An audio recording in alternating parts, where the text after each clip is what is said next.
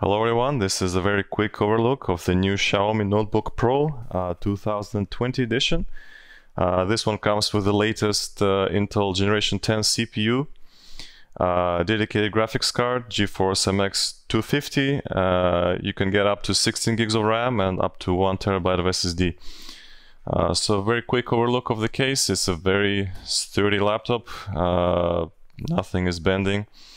For I.O. we have on this side HDMI out, uh, two USB types uh, A 3.0 and a headphone jack. And on the other side we have a micro, uh, I mean full SD card slot and two Type C connectors. Uh, one of them is used for charging the laptop, you charge it through Type C.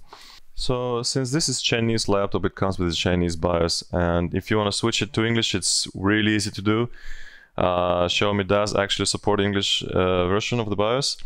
All you have to do is switch it on and hold F2 uh, and you'll get straight into the BIOS as you can see. Uh, it's in Chinese but all we have to do is scroll down to the very end here. This is the last option right here.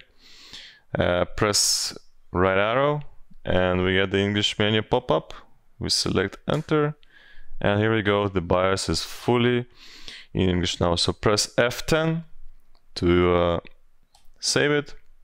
Yes. And that's it. The laptop will boot up to the uh, Windows now, having English BIOS. Thank you very much.